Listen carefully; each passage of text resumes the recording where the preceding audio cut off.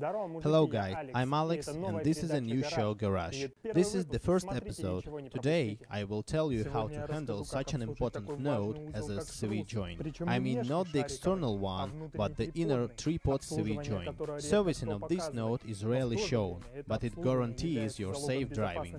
You will know what the tripod CV joint is notable for and how it differs from the simple one. I will also tell you and show you how to lubricate it, as well as how to put your knowledge into practice.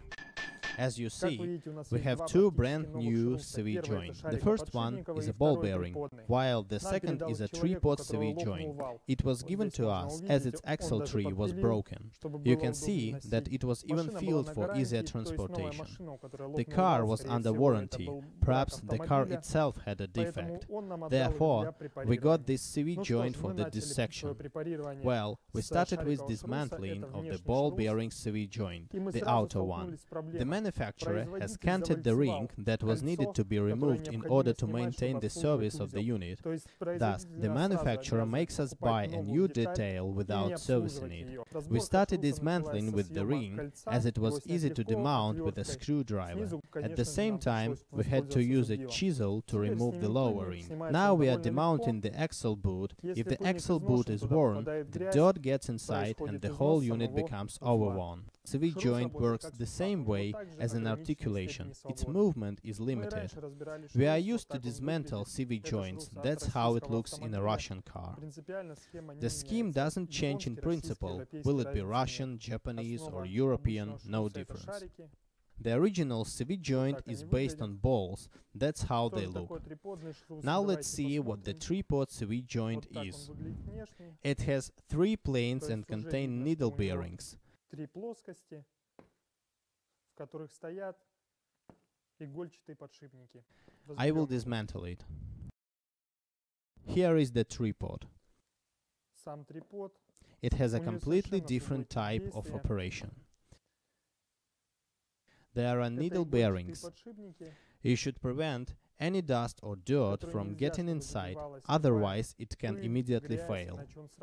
You can see that this is a delicate detail. Now I will show you one more tripod from another car. It has less freedom of movement.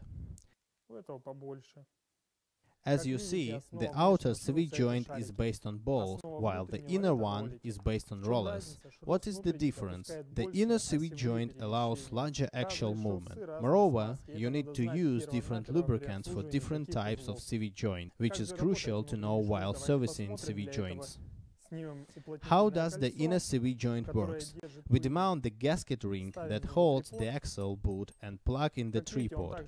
As you see, it plays the same role as an articulation, transmitting the torque from the transmission to the wheel.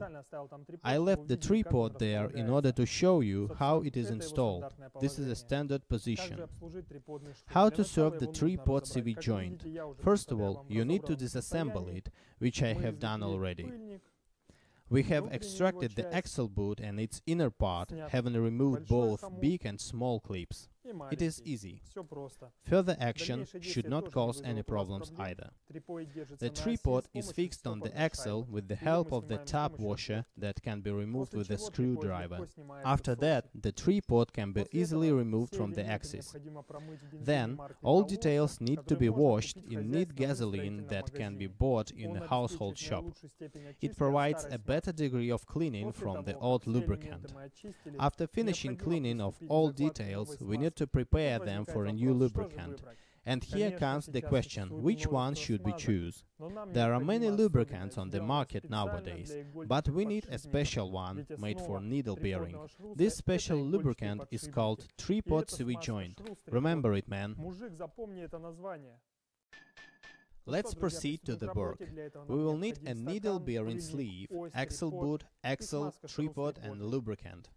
We will need only the needle bearing sleeve in the beginning.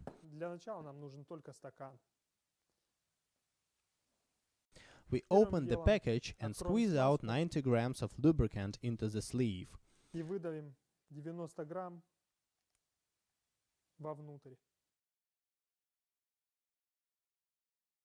Leave some lubricant in the package. It looks like honey, but it's not. Having fixed the tripod on the axle, we put it back into the sleeve and add the remaining lubricant.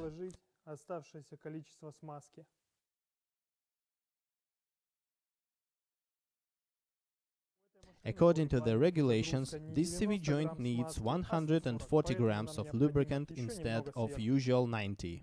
That's why we need to add some more. We spread the lubricant inside the sleeve and start assembling. That's all. We need to fix the clips and install the unit into the car. As you have just seen, the process of the tripod CV joint lubrication turned out to be not as difficult. You don't have to pay money in the service center, you can do it by yourself. The most important thing is to use tripod CV joint lubricant. Using this lubricant guarantees your safety and prolongs the life of this unit. Well guys, the first episode of Garage Show is over. I hope you liked it. Please subscribe. See you later. Подписывайтесь на канал, ставьте лайки. До скорого.